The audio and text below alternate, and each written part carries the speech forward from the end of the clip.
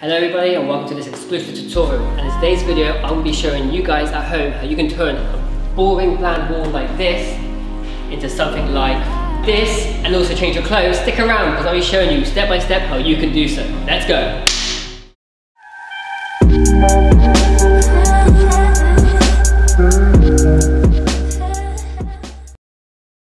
Job here is actually for a client. I always pre-sketch it just because they have a clear idea.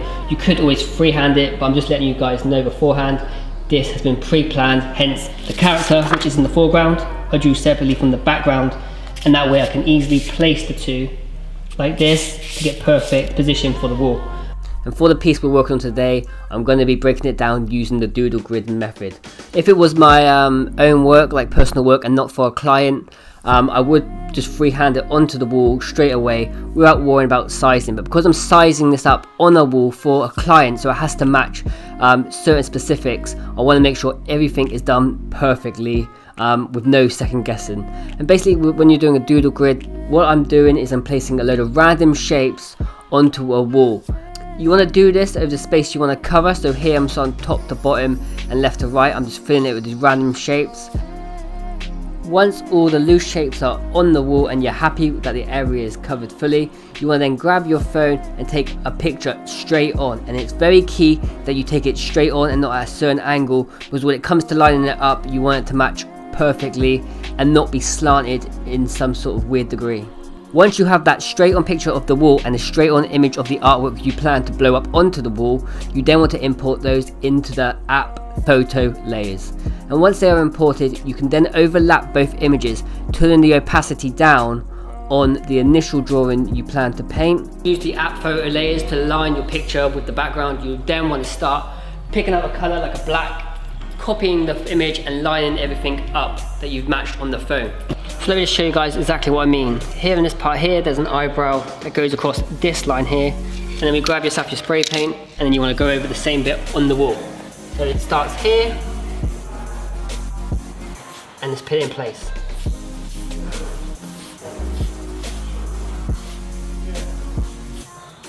With this stage in particular, you really just want to take your time with it and relax into the process. Here when I'm using the black, not only am I putting the lines in, but I'm just putting in rough indications of where I want to put the darker tones or shade. So later on I just have to overlay the lighter colours and it will merge automatic, automatically without me having to bring the black back out to put the darker shades in place.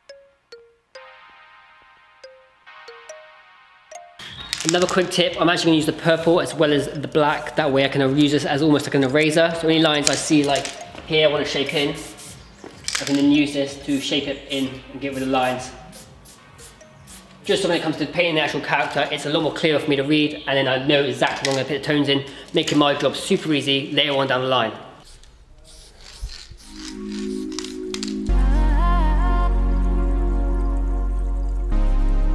And if you've done things correctly guys, you should end up with something that looks just like this here.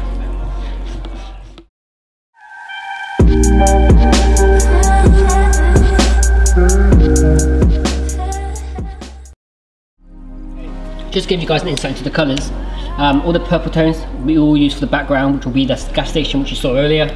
For the skull itself, I'm using all these skin colour tones from lightest to the darkest tone here which is the same as when I do my drawings. As you see, I start off with just the simple colours, going lightest from darkest. This is going to be for the glasses, inside the glass.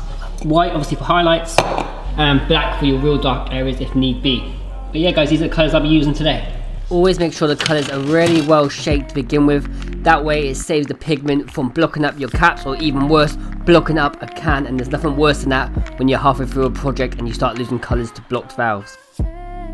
The first area of this character that I'll be focused on today is going to be the eyes. I learned from a portrait class that as humans we connect most with the eyes, so that is always something I treat more at the focal point because that's something as you look at a portrait or a character you're drawn to instantly. So I always like just to double down and make sure I get these pretty much perfect and to a happy place.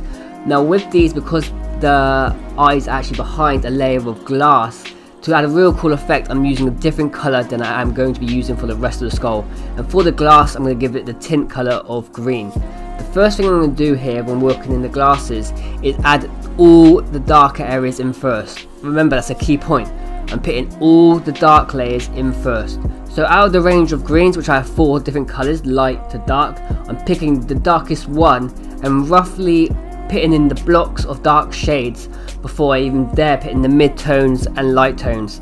This way it gives me the colour to blend into. So let's say I've got a block of the darker green, using the mid green I can, I can turn it at a 45 degree angle and blend into it very softly and very slightly and if needs be later on the line I can use the darker tone again to overlay and then you have almost two different types of green because you've got pure dark which is the straight dark and then the blended dark tone which acts more like a middle tone giving you a lot more texture and gives you a lot more detail when you haven't really done much to achieve it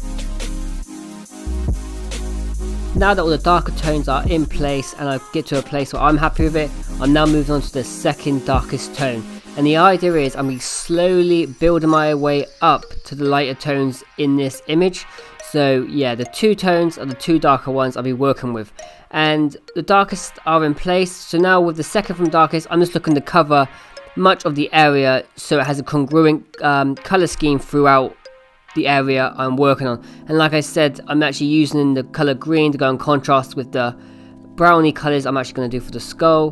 But yeah, so for that, to two darker tones, just keep layering up and set yourself so when you put the finer details and the highlights in, you're in a good position where the highlights can blend into the second from darkest tone.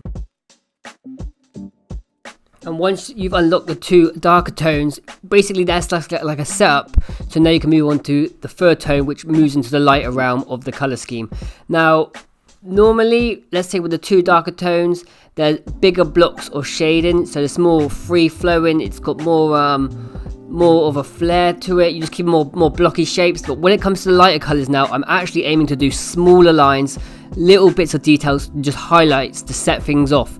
So this is why I always think of it like a, a, layering process where you have to have a strong foundation and layer on top. And as you will experience with spray paint yourself, or if you have, you would know you want to start almost being big and broad with your strokes at the very beginning, be very loose. And as you're getting in towards the more tone into the lighter areas here, I'm trying to zero in so my lines are getting more small and compact almost as I'm just using as an edging tool just to edge out small lines or give greater indications of highlights which you can see through the eye sockets on the rims of the eye socket I'm just highlighting very slightly with smaller lines just to just to shoot a lot off but the base color the foundations that we put in the very beginning the two darker tones they accentuate where that line is going so yeah, it really is just a process of layering, cutting back and taking your time building up from darkest to lightest. Those are the key points you want to be doing.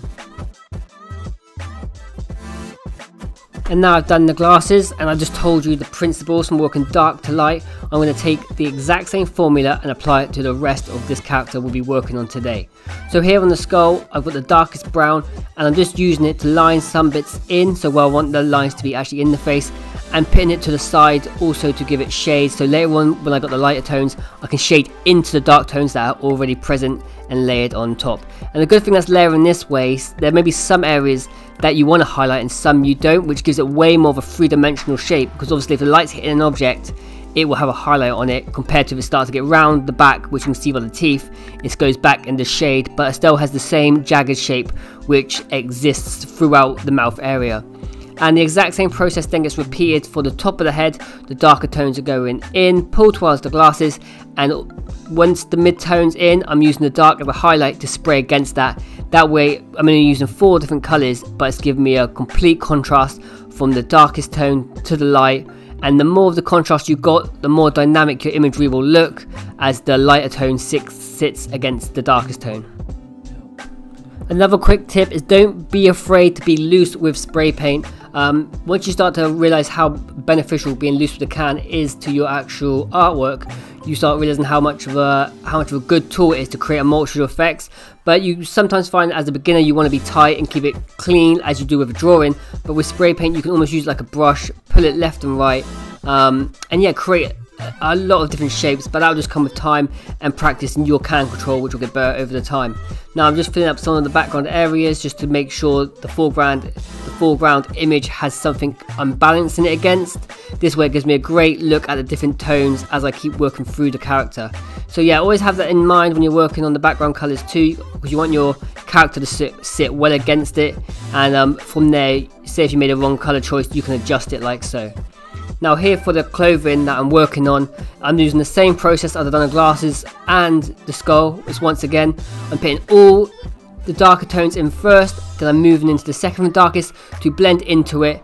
And then once again, the same process. Once you understand this, you just apply it all over using the highlight can just to highlight the certain areas. And sometimes the smaller the highlight, the better the impact. You don't have to go massive with the highlight. Um, once the two foundational dark tones are in place, slowly build up on the highlights until you get to a place you're actually happy with it. And you can decide from there whether you want to add more or take away. And the hands, you guys have guessed it, the same again. Here I've used a dark tone, really jagged and loose because it's a skeleton's hand, so I don't have to worry about super clean and clinical. And once that's in place, it's the second from darkest, once again, looking to just put the base tones down which just opens up the door so now I can grab the lighter tones and add small little lines, small little flares to pull off the highlights and let the hand speak for itself.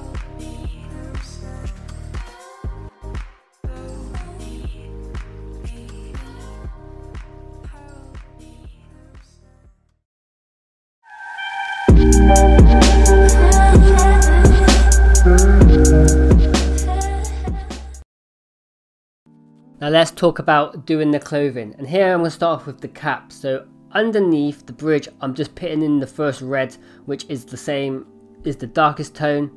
And now using the mid-tone, I'm sort of angling the can at a 45 degree angle and bending it so it's got more of a shade within the skull towards the skull because obviously it's under it's going to be into a darker area and just use that lighter can to pick up the highlight. Once I've done the overspray, I'm then going to use very slight and small lines to highlight where the light is hitting the underneath of the hat.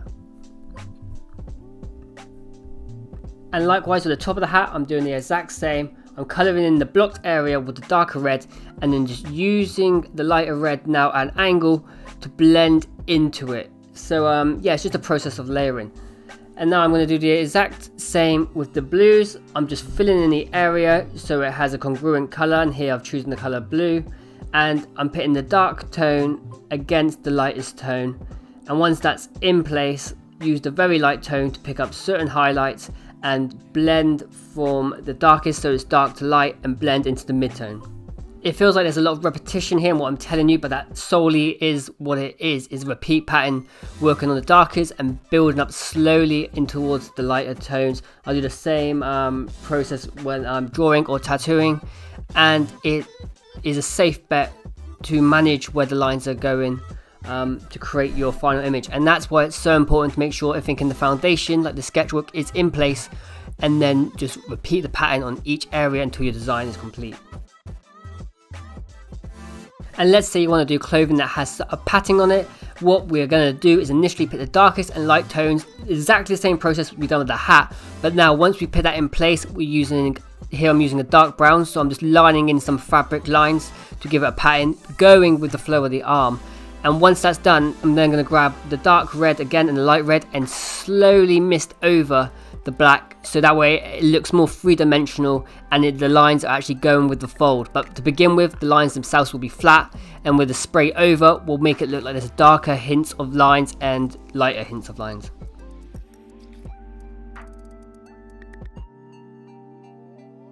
What we really want to do here is bring this hand out forward and the way we're going to achieve that is by grabbing the green we use the glasses the lightest green and actually get a line around here and that will bring the hand forward. So let me just change this cap quickly and show you exactly what I mean. Okay, using a real thin cap here, I'm using the Cobra stock cap. I'm just going to put a really thin line around and just watch how this pops.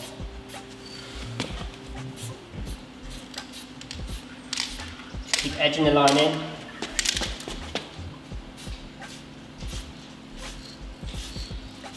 And that's just to accentuate the fact that this is in the foreground um, and separate from the rest.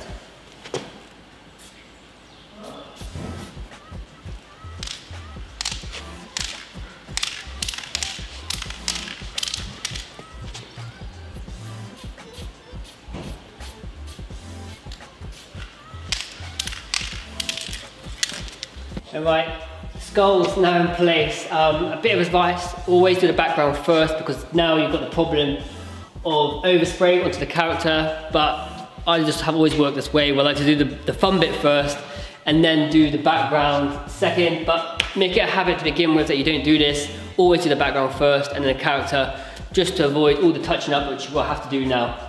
But once you're good at it, you can do what the hell you want, so who the hell am I?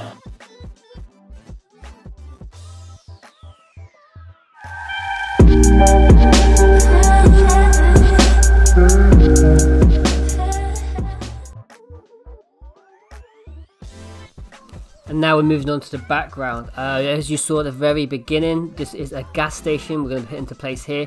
And it's already pre-sketched and drawn up from the doodle grid. I didn't have to worry too much on the doodle grid for the background because I don't want anything super focused or highly detailed because for this actual piece, the character is the focal point and by having an overcomplicated background, you take away from the focal point.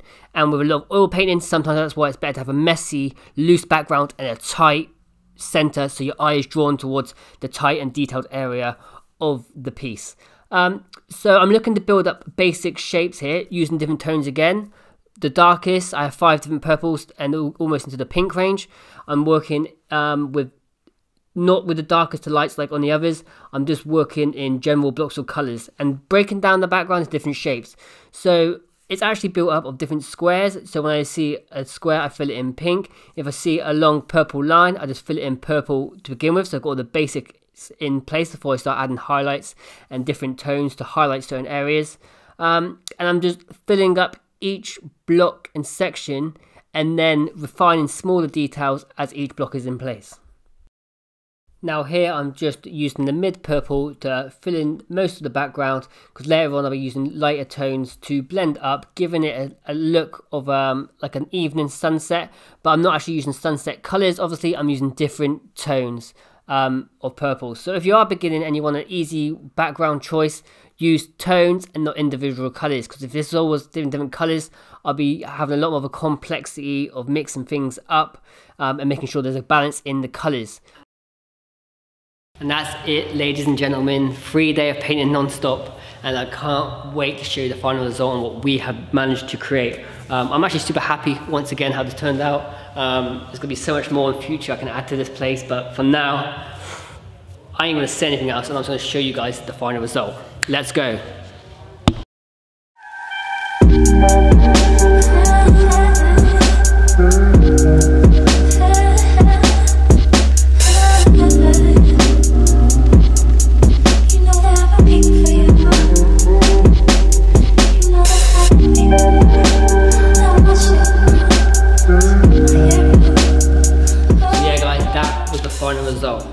You guys have enjoyed coming along on this journey with me and Rerose Hub. It's been such an experience and so much fun to create this for you guys. Um, everything I create, I was really want to make sure we're all a part of the same community and take you along for the ride. Um, as always, subscribe, like, all that other YouTube stuff. And until next time, keep creating, stay well, and peace.